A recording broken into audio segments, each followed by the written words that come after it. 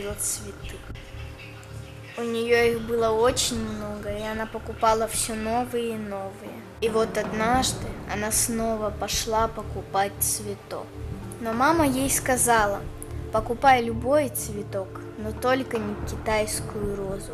Она приносит несчастье. Но роза была такая красивая, что девочка не удержалась и забыла про мамин наказ.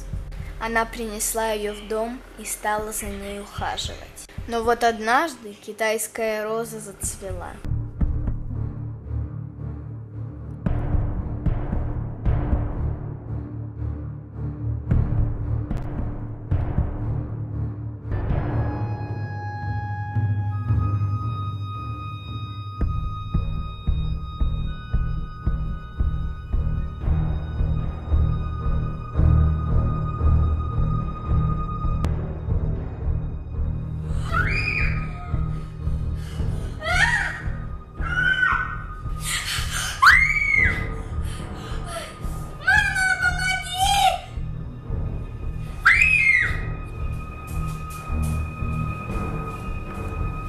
Но мама знала, что делать. Она взяла ножницы и обрезала.